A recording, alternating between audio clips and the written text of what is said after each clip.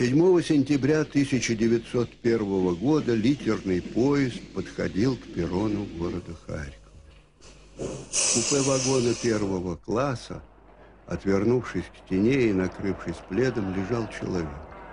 Когда поезд остановился, гомон толпы, заполнивший весь вокзал, стал нарастать. Человек услышал этот шум и простонал. Ах, боже мой, как это ужасно! Все это лишнее, я просто не могу. Но толпа уже скандировала. Просим Льва Николаевича на минуту, хотя бы на минуту показаться у окна. Граф согласился. На толпу из окна вагона устало смотрел сильно похудевший, сгорбленный, совершенно седой старик. Поезд вздрогнул и медленно поплыл мимо перрона. А вдогонку ему неслось. Поправляйтесь, Лев Николаевич, возвращайтесь здоровым, храни вас Бог.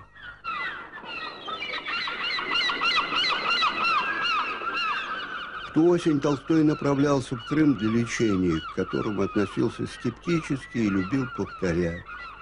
Смерть – это лишь пробуждение от томительного сна, который есть жизнь. И врачи не должны мешать умирать. В Крыму Толстой встретился с Чеховым. Сам Антон Павлович, будучи врачом, вспоминал. Что за болезнь у Толстого, понять не могу. Язвы в желудке и кишечнике сказывались бы иначе. Рака тоже нет. Он отразился бы прежде всего на аппетите и на общем состоянии. Болезнь его испугала меня и держала в напряжении. Я боюсь смерти Толстого. Лев Николаевич любил беседовать с Чеховым обо всем, но никогда не касался литературных тем. Во время их последней встречи граф взял Чехова за руку и, улыбнувшись, сказал, «Вы хороший, Антон Павлович, а пьесы ваши все-таки плохие. Вы знаете, я терпеть не могу Шекспира, но ваши пьесы еще хуже. Тогда же у Толстого началась пневмония, от которой он так и не сумел излечиться до самой смерти. Болезнь приносила Толстому скорее страдания не физические, но моральные, приводила к душевным кризисам, навевала то, что Лев Николаевич называл арзамасской тоской. В 1876 году во время одной поездки Толстой остановился в городе Арзамасе.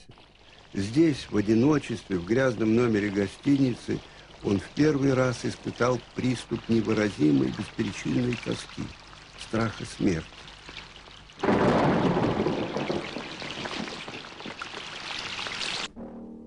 Такие приступы затем повторялись. Но особенно часто они случались во время поездок Толстого из письма Льва Николаевича Софье Андреевне. Очень усталый приехал в Киев. Все утро ходил по соборам, пещерам, монахам и очень недоволен поездкой. Не стоило того. Всем пошел опять в Лавру, к схимнику Антонию. И нашел мало поучительного. По приезде в Ясную Поляну Толстой впал в какую-то отчаянную апатию не спал и не ел, постоянно плакал и тосковал.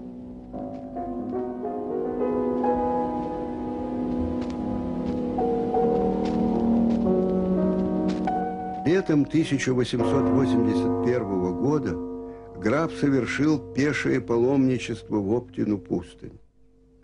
В монастырь Толстой пришел часам к шести вечера.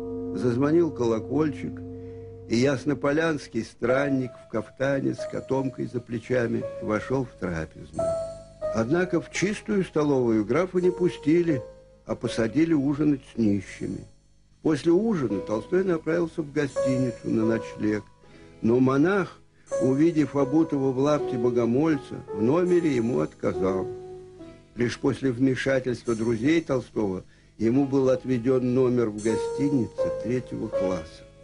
Соседом Льва Николаевича оказался сапожник из Болховского уезда. На следующее утро граф жаловался, что всю ночь не спал, потому что его сосед ужасно храпел. А на его просьбу не храпеть грубо ответил. Что ж ты мне прикажешь, дедушка, из-за тебя не спать всю ночь, что ли?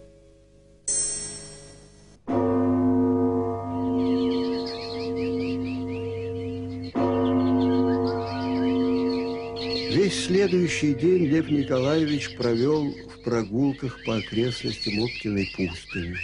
На службу он не пошел, но вечером отправился в скит к отцу Амбросию, у которого пробыл четыре часа. Много позже, вспоминая этот визит к святому старцу, Толстой восхищался. Этот отец Амбросий совсем святой человек. Поговорил с ним – и как-то легко и отрадно стало у меня на душе. Вот когда с таким человеком говоришь, то чувствуешь близость Бога. Святой Амбросий же, напротив, вспоминая свой разговор с Толстым, сокрушался. Какой гордый, гордый человек.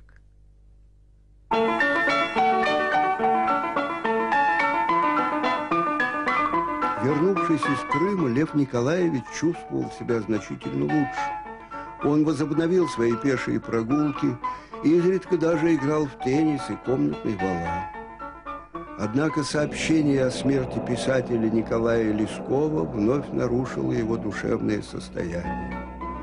Лев Николаевич знал, что Лесков умер в припадке грудной жабы. Эту же болезнь граф предполагал и у себя – он детально выспрашивал врачей, лечивших Лескова, обо всех подробностях его смерти, сравнивал свое состояние с бывшим у Лескова. Симптомы ему казались зловещими.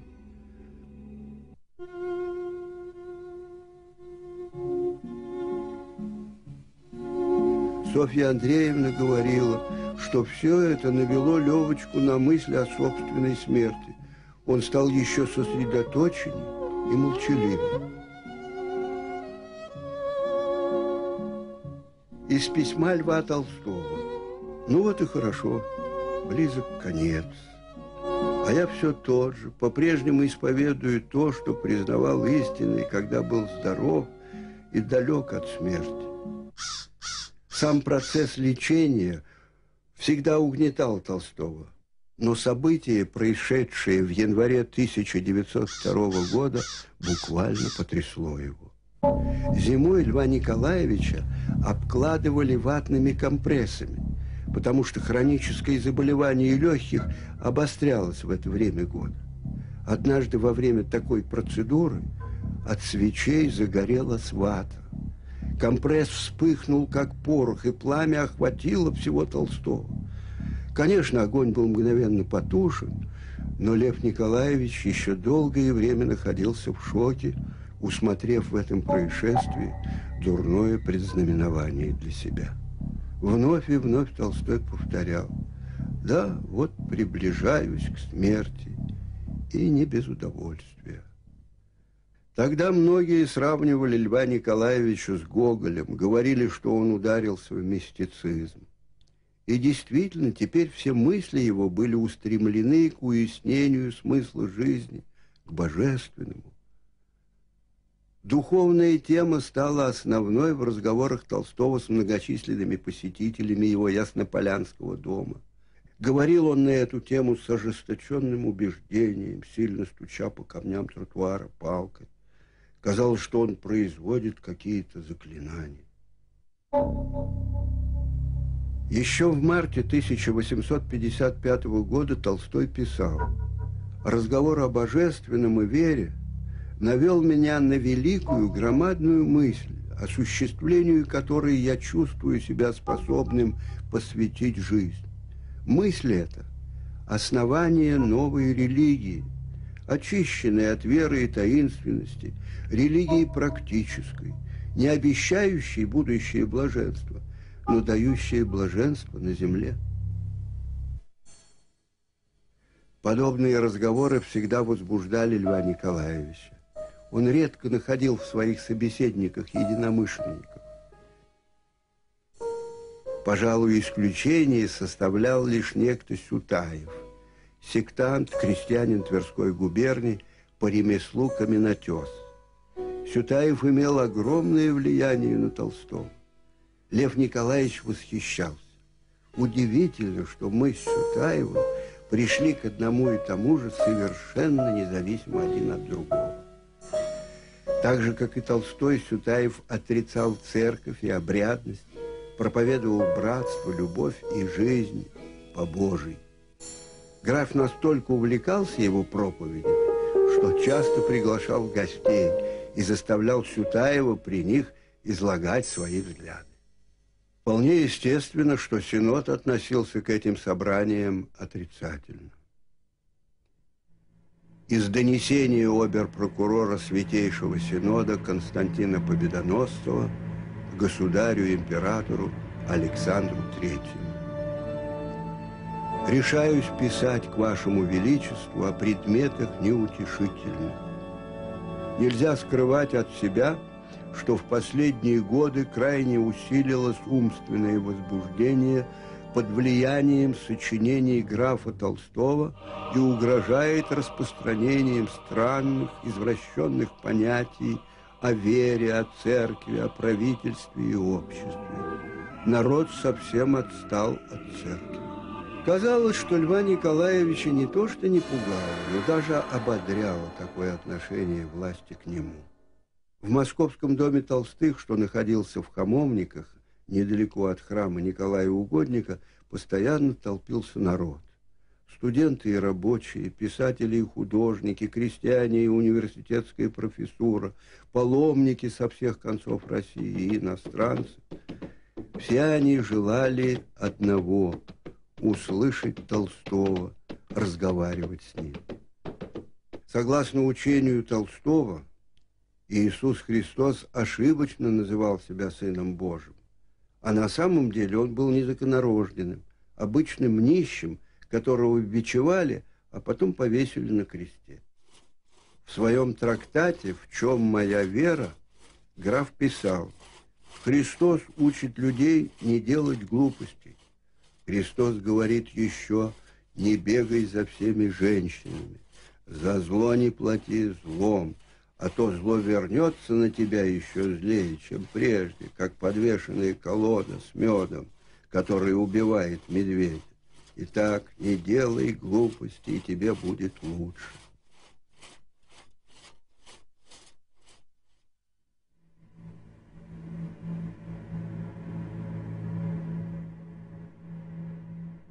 25 февраля 1901 года было объявлено об отлучении графа Льва Николаевича Толстого от церкви. Епископ Сергий Строгородский, будущий всероссийский патриарх, говорил тогда, его не надо было отлучать, потому что он сам сознательно отошел от церкви.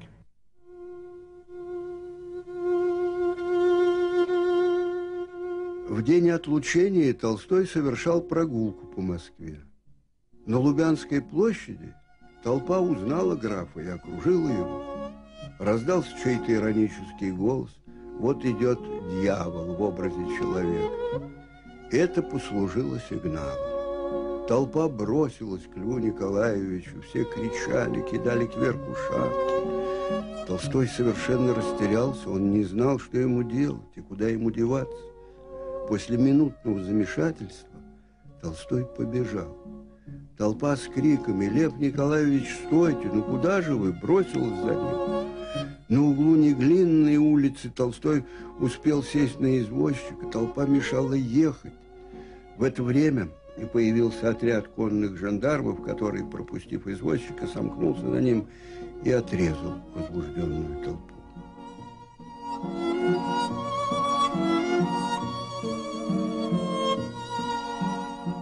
своему отлучению Лев Николаевич относился внешне спокойно. «Ну, что они этим доказали?» Добродушно спрашивал он и принимался рассказывать о разных курьезах, связанных с отлучением. Но иногда он не мог скрыть свои переживания. Однажды к Толстому пришла старушка из хамовнического храма, принесла просворку и сказала, «Скушайте, Лев Николаевич, во славу Божью, на доброе здоровье». Приняв просфору, Толстой заплакал.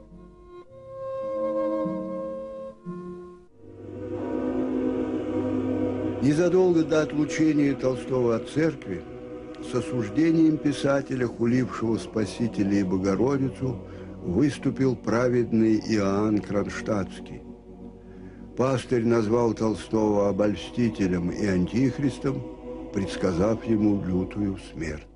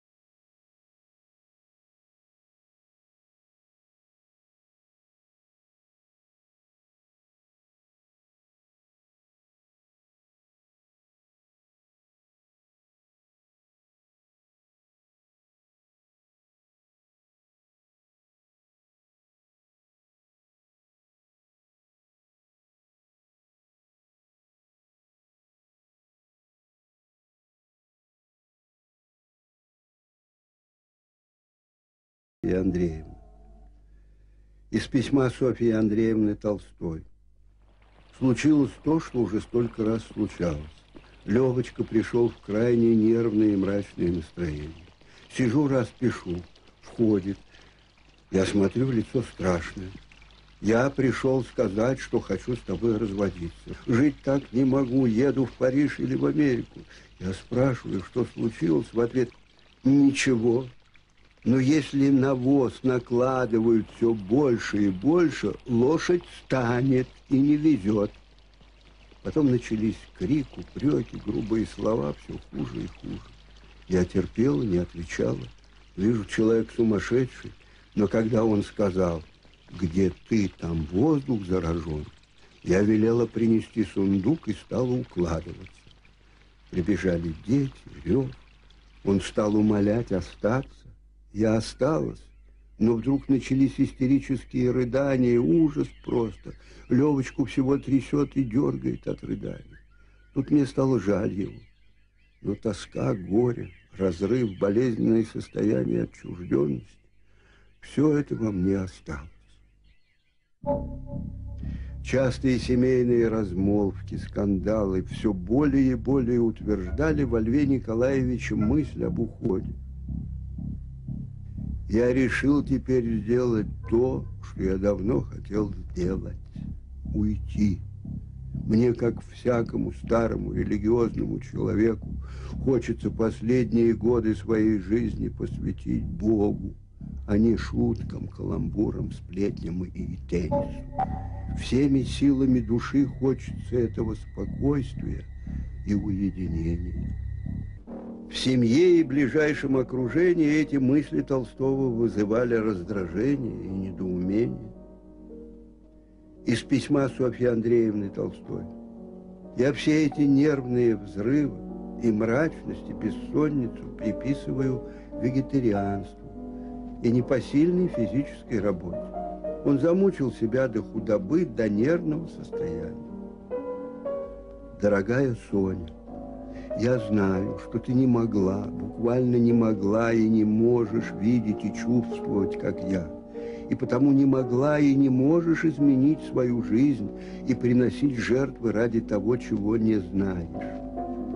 В последнем периоде нашей жизни мы разошлись. Я не могу думать, что я виноват, потому что знаю, что не мог иначе. Не могу и тебя обвинять, что ты не пошла со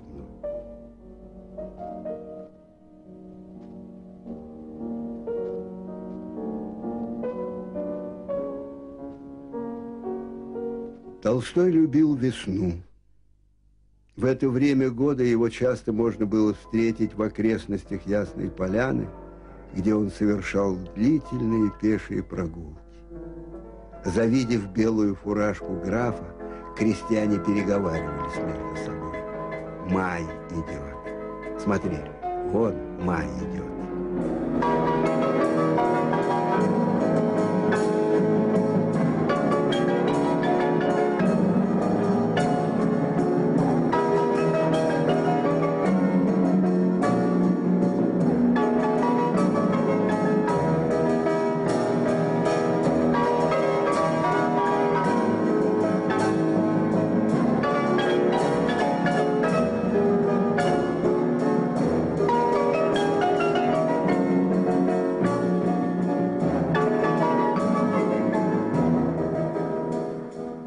Приходе домой граф затворялся у себя в кабинете и записывал мысли, пришедшие к нему во время прогулки. Затем эти черновики переписывали его дочери. После их редактировала Софья Андреевна. После чего записи вновь попадали на стол к Льву Николаевичу, где он вносил в них последние поправки. Долгими бессонными ночами Толстой читал – я сегодня слаб, не мог заснуть и все время читал. Никто не догадается, что. Евгения Онегина. И всем советую его перечесть. Но лучше всего у Пушкина его проза. Иногда из закрытой двери Софья Андреевна слышала возглас Льва Николаевича. Теперь уясняю.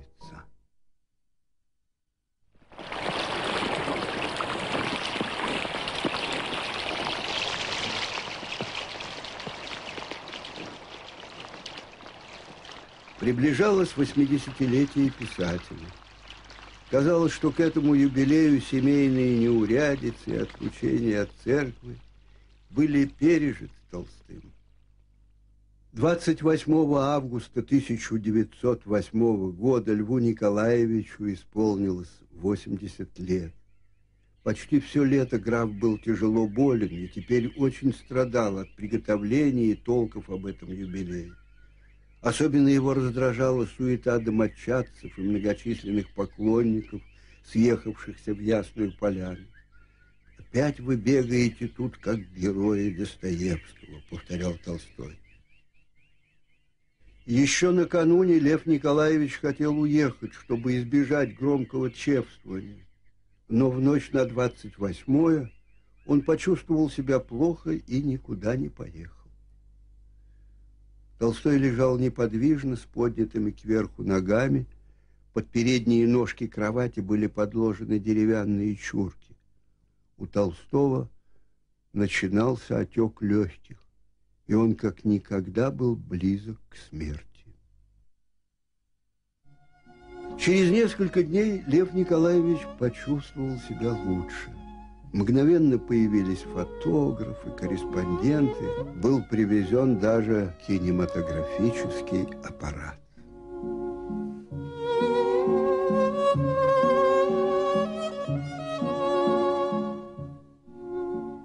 Граф ощущал себя в центре внимания, все искали его дружбу, слова, взгляда, и, видимо, это придавало ему силы.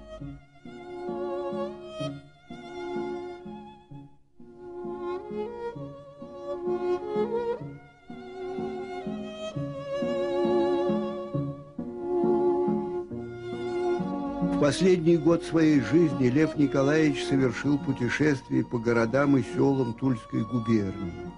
Он посещал земские окружные учреждения, больницы. В Покровскую психиатрическую больницу города Мещерска Толстой приехал к трем часам дня.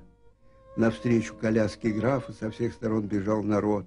Врачи, санитары, больные – Льва Николаевича проводили в большой зал, освещенный электрическими фонарями. Окна были завешены темными занавесами. В глубине зала висел большой экран. Толстого посадили в первом ряду, свет погас, и на экране замелькали картины синематографа.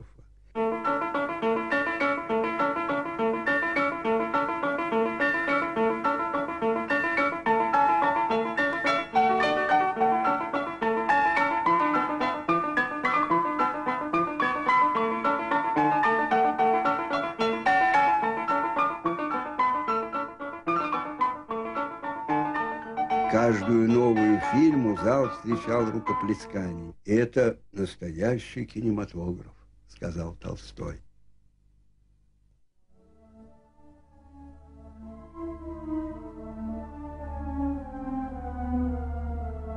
По возвращении в Ясную Поляну у Льва Николаевича случился жесточайший приступ меланхолии.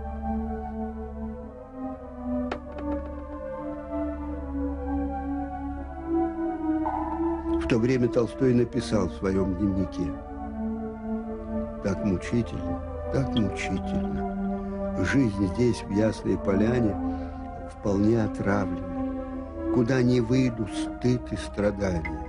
Я не могу долей переносить этого. Не могу и должен освободиться от этого мучительного положения. Помоги мне, Господи. Опять хочется уйти. В эти дни Толстой впервые явственно почувствовал, что его преследуют необъяснимые кошмары. Он слышит какие-то голоса, крики, смех, собачий лай – Лев Николаевич говорил об этом своим домочадцам и лечащему врачу, но они не обратили на это внимания.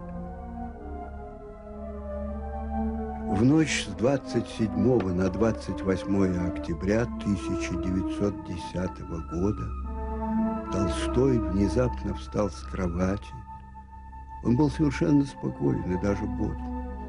Оделся, уложил вещи, рукописи, спустился вниз – и приказал запрягать. Душин Петрович Маковицкий и дочь писателя Александра Львовна уже выносили вещи из дома. Лев Николаевич попросил не шуметь, чтобы не разбудить Софью Андреевну. Сборы заняли не более получаса. Толстой направился в конюшню проверить готовность экипажа и поторопить кучера.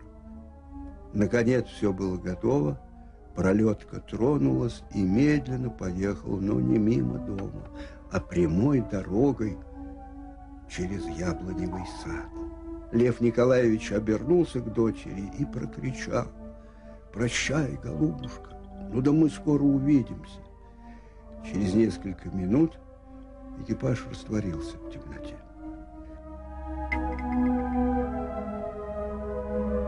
Дорога была ужасная, темнота, непролазная грязь, лошади едва двигались. Через два с половиной часа пути подъехали к Шамардинскому Казанскому монастырю. В монастыре Толстой провел два дня. Все это время он разговаривал со своей сестрой Марией Николаевной, шамардинской монашкой. И именно по ее совету Лев Николаевич направился в Оптину пустынь, что располагалась рядом, в 15 верстах. В дороге Толстой написал последнее письмо к Софье Андреевне. Свидание наше, и тем более возвращение мое теперь совершенно невозможно. Для тебя это было бы в высшей степени вредно, для меня это было бы ужасно. Советую тебе примириться с тем, что случилось, а главное – лечиться. Ты должна хоть немного войти в мое положение. Я люблю и жалею тебя от всей души, но не могу поступить иначе, чем поступаю. Прощай, милая Соня, помоги тебе Бог.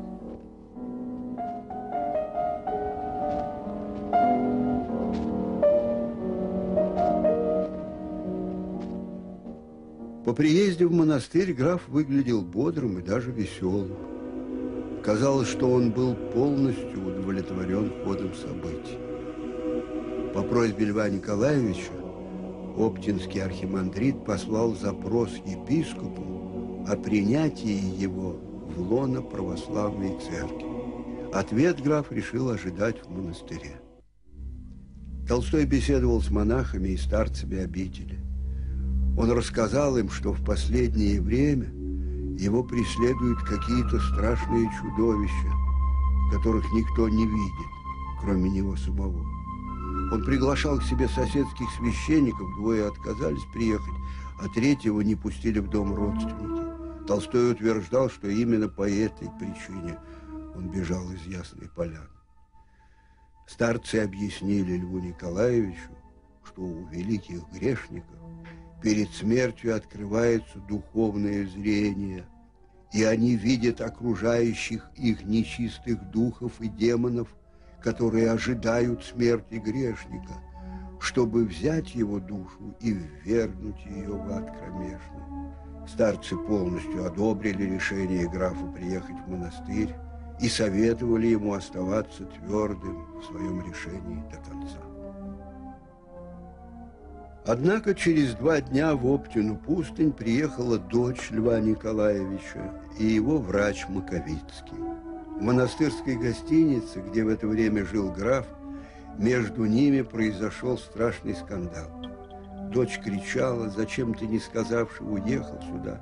Отец кричал в ответ, зачем ты приехала? Домой я не поеду и буду доживать свои последние дни в монастыре. Вскоре все стихло. Когда в номер вошел монах, чтобы поменять остывший самовар, то увидел графа, неподвижно лежащим на кровати с закрытыми глазами. Через три часа дочь и доктор увезли Толстого из монастыря. И экипажи его вели под руки. Сам он почти не мог передвигаться. Тогда монахи Оптиной пустыни вспомнили пророчество отца Иоанна Кронштадтского, сделанное девять лет тому назад. Вечером того же дня пришло сообщение епископа о том, что дело об отлучении графа Толстого от церкви будет пересмотрено в Священном Синоде. Но Лев Николаевич уже не узнал об этом. Козельский Толстой был посажен в поезд, шедший на Тулу. В третьем классе, в котором ехал граф, было невыносимо душно, грязно, накурено и многолюдно. В сопровождении доктора Маковицкого он выходил в тамбур, чтобы немного подышать воздухом. И, видимо, здесь Толстой простудился, потому что к вечеру состояние его резко ухудшилось. Температура поднялась до 40 градусов. Он метался на деревянном вагонном топчине, то просил его укрыть, то сбрасывал плед на пол, страдая от нестерпимого жара.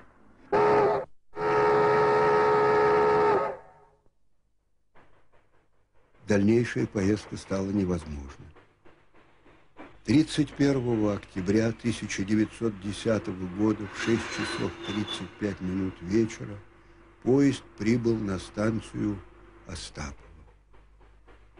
За пять минут до отправления в кабинет начальника станции вошел небольшого роста мужчина 45 лет и, назвавшись доктором Душиным Петровичем Маковицким, спросил, не имеется ли у вас на станции отдельной комнаты, в которой мог бы поместиться Лев Николаевич? Для какого Льва Николаевича требуется комната? Для Льва Николаевича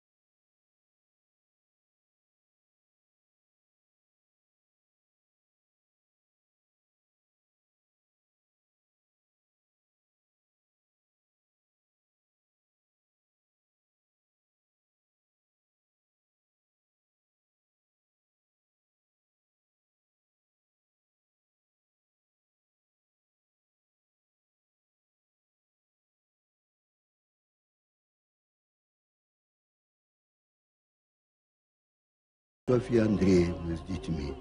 Узнав об этом, Толстой умолял доктора Маковицкого не пускать к нему жену. Доктор обещал.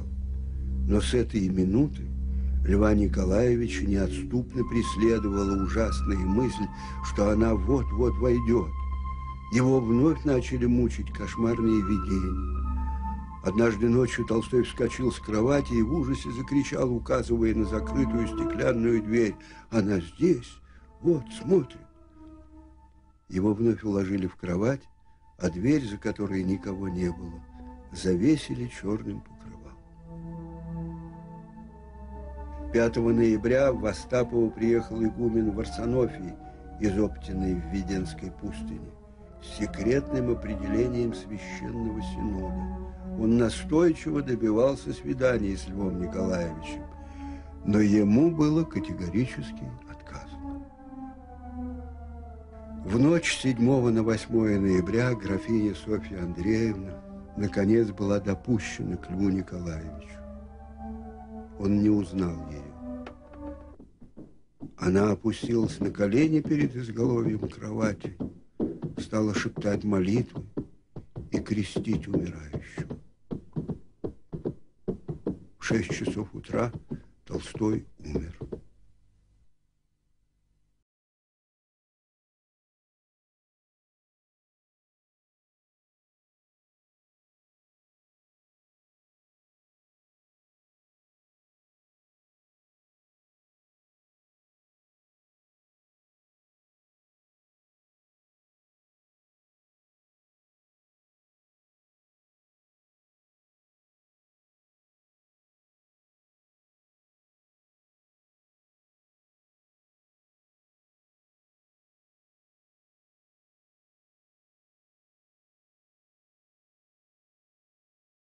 Общение о видении одного прозорливого старца. На Ладожском озере поднялась страшная буря. Старец увидел несущуюся по воздуху массу бесов и Льва Толстого, который спасался от них. Он стремился к монастырскому храму, но демоны преграждали ему дорогу, мешали ему, хватали его за руки, за волосы, за одежду, пока, наконец, совсем не окружили его и не увлекли за собой в пучину, у самой скалы, на которой стоял Валаамский монастырь. Только впоследствии прозорливец узнал, что именно в этот день на станции Остапова умер Лев Николаевич Толстой.